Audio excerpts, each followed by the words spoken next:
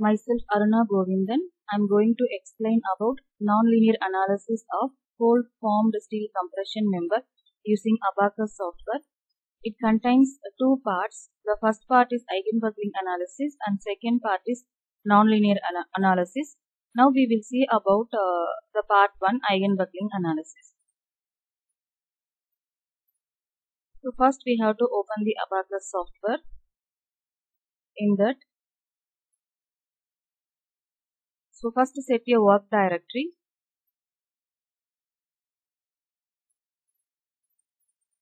Already I have created one folder. The name is AES demo. Click that one.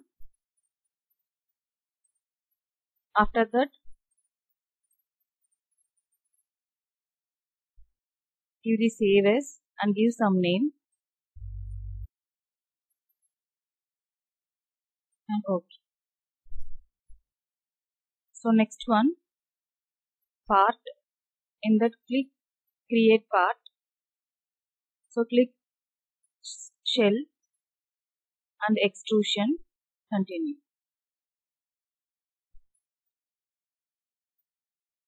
So already I have the coordinates for the angle section.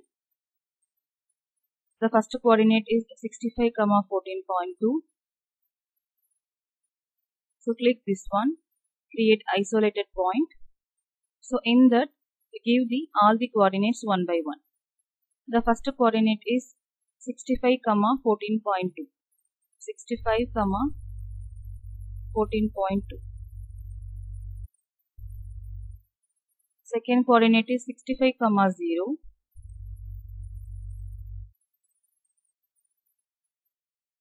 Third coordinate is 0, comma 0.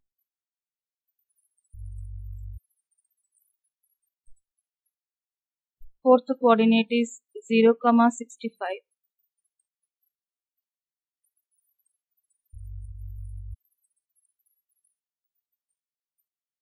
And fifth coordinate is 14.2, comma 65.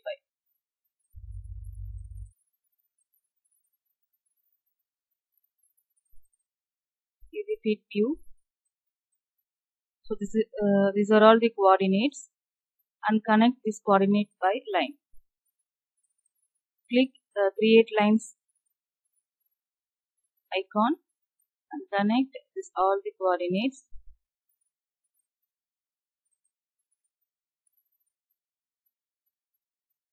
So next one, give the height of the column that is 1000 mm. Then what? So next one, give the material properties. So here, mechanical, elasticity, elastic. So give the Young's modulus of this material. This is the steel material, so the Young's modulus is 2 into e power 5, Poisson ratio 0.3. Then click plasticity in plastic.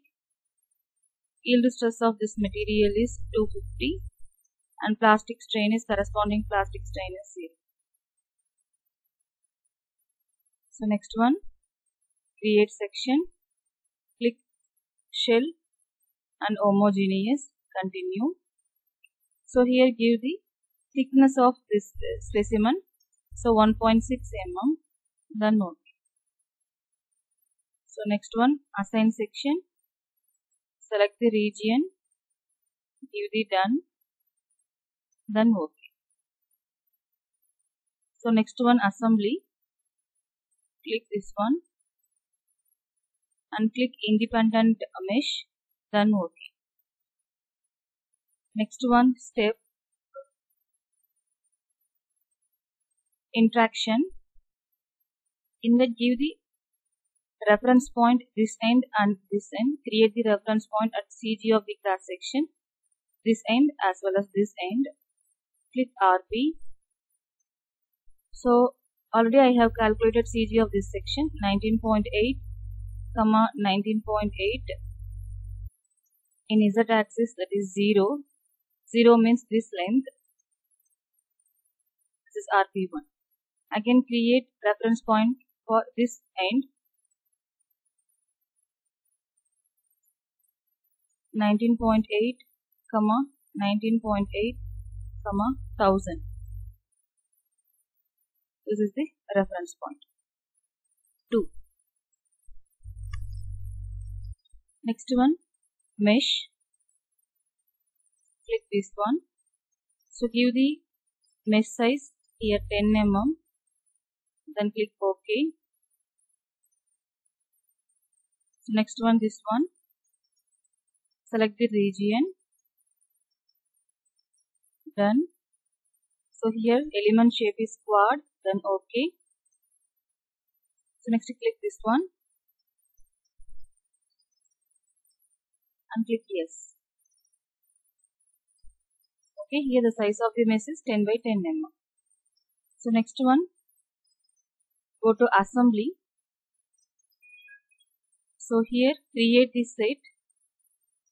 Create. Set 1 so for this set 1 I'm going to rename this one that is RP1 okay it is a geometry RP1 it is a geometry. So click continue click this one and done. So next one create. Set 2 that is RP2 RP2 also geometry. Click continue and select RP2 done. So next one create slave node. Slave node 1 it is in the form of node so click node then continue. So click this one. Third third one. So here give 5 mm and enter. So here I'm going to select this corner node.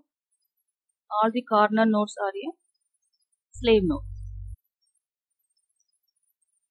done. Okay. So next one create slave node 2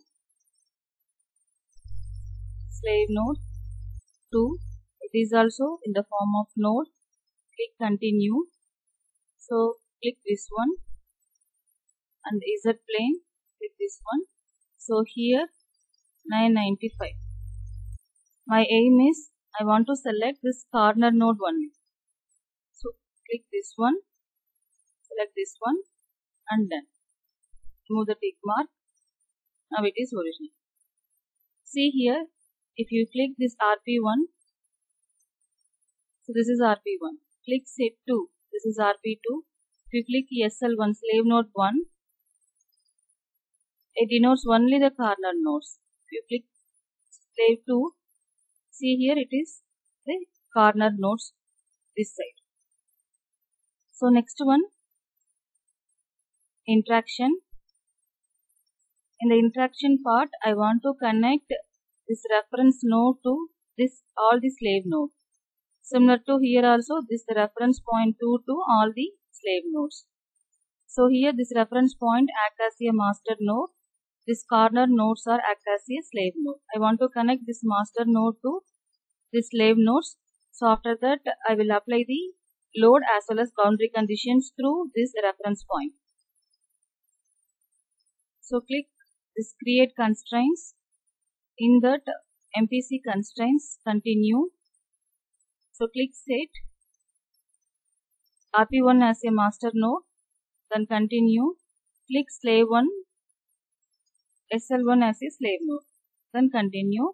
Here MPC type is beam type. Then OK so next one again I want to connect this RP2 to this corner nodes MPC constraints continue. RP2 continue. And slave node to continue. MPC type is beam then OK see here here.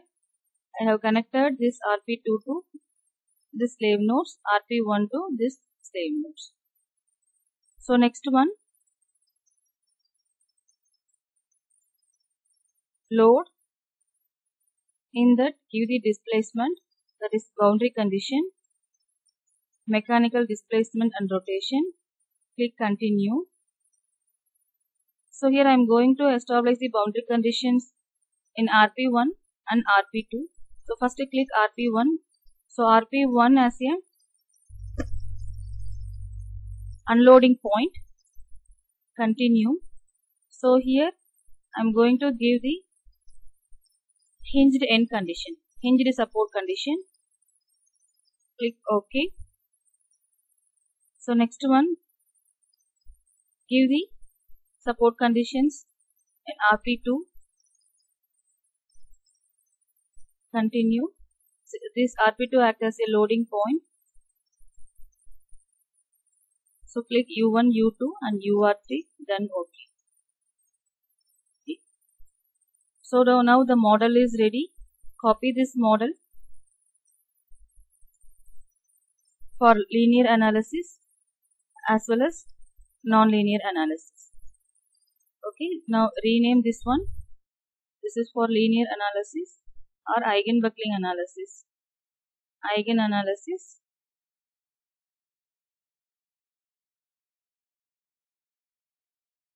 and this model is for non-linear analysis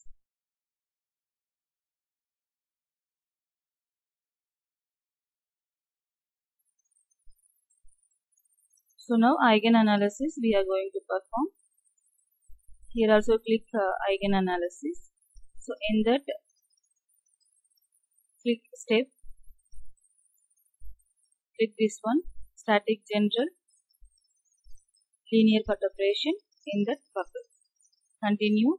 Here number of eigen modes is our wish 10. Okay, so here 40 and here also 60 maximum number of iteration. Then working so next load. The first one. The mechanical part. Give concentrated force. Continue rp2 here rp2 act as a loading uh, point. So click rp2 and continue. In the cf3 in z direction apply minus 1 load. Click ok. So next one here. Click edit keywords. Here add after star node file comma global equal to s and then ok. So click here. Job. Create job. Linear. Continue. Full analysis and ok. So now submit this job here the status of file is submitted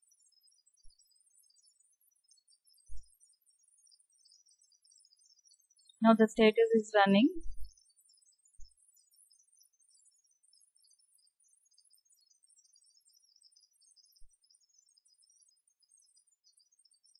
Now the status is completed.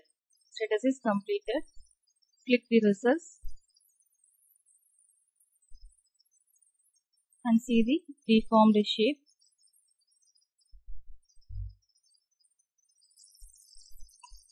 Deformed shape. And click result. Step frame. So these are all the 10 eigen modes. Click one by one. The first eigen mode is this one. And second eigen mode this one. Third one. Fourth one.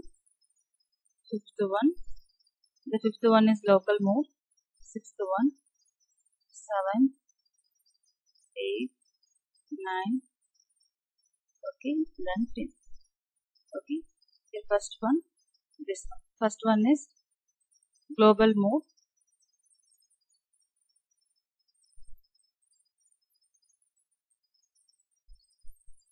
and fifth one is local mode okay so note down the mode 1 as well as uh, mode 5 because in the first mode we obtained a global mode and fifth mode we obtained uh, local mode. Okay? Next one note down this value. That is 30151 this is the lowest eigenvalue. We have to note down this value also. Okay? So next we will see in the next part. Thank you.